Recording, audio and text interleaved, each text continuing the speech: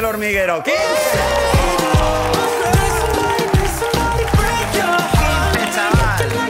Madre mía. 15. 15. Dios.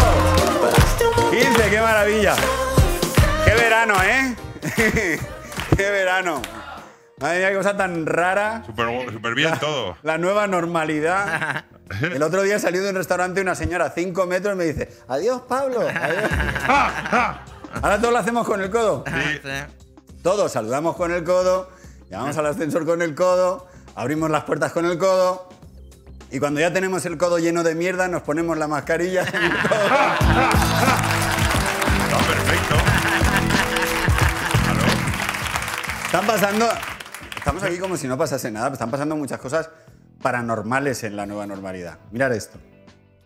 Pues así es, durante esta pandemia y este confinamiento hemos descubierto un nuevo ejemplar nunca visto. Se trata de el sordo de boca. Eh, disculpe, caballero, por favor, ¿me podría decir la hora? ¿Qué? Si me podría decir la hora, por favor. ¿Qué perdona? Ahora sí no podría. ¿Qué? Es una realidad. Estamos, Pasa mucho. hay que decirlo, estamos todos un poco sordos de boca. Sí. Tú te metes en un taxi y es que nadie entiende a nadie. Vamos a Menéndez Pelayo, esfuerzo 13. Sí, Menéndez Pelayo. Así le pasó al rey emérito que iba a República Dominicana y acabó en Emiratos Árabes.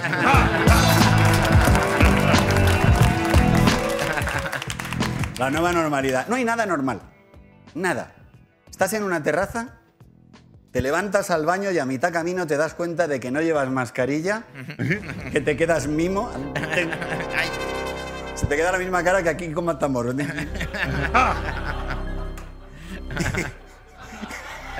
has hecho bastante bien, ¿eh? La cara. Da igual. Es idéntica.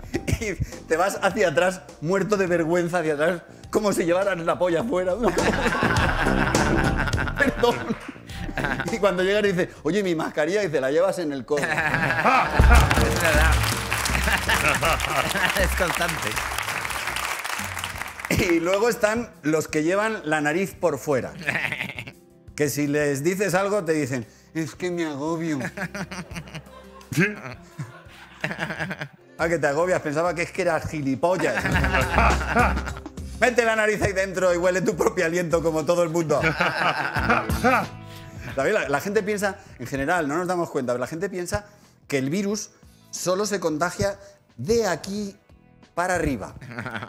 ¿Vale? Solo de aquí para arriba. Tú ves a un grupo de amigos en una terraza saludándose con el codo, siguiendo las normas, y es sentarse en la terraza, fuera la mascarilla, se hablan de cerca, enrollándose todos con todos, habla- hablando de series.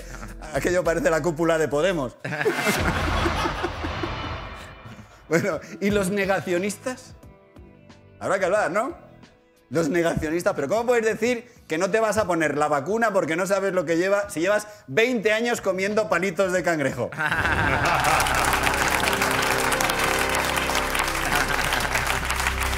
Y luego, a la tensión se une que en las parejas siempre hay uno de los dos que es un poco más paranoico con las normas.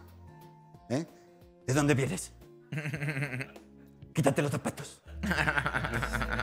Porque el, el que es paranoico habla solo con las consonantes. Quítate, quítate los zapatos. No toques la luz. Lava la barra de pan.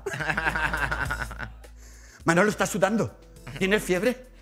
Cariño, son las 4 de la tarde y vivimos en Triana.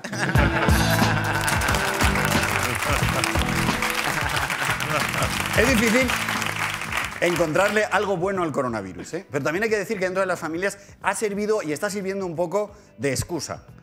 Cariño, tenemos que ir a ver a mi madre. No, es que tu madre es de riesgo. A ver, Enrique Ponce, que mi madre tiene tu edad.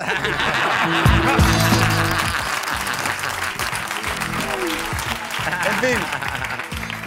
Amigos, aquí comienza la temporada 15 del hormiguero con lo que venga. El invierno va a ser duro, vamos a tener que echarle un poquito de coraje para estar alegres, pero para eso estamos aquí. El hormiguero es un lugar en el que pase lo que pase, te haremos sentir bien. Lo vamos a intentar.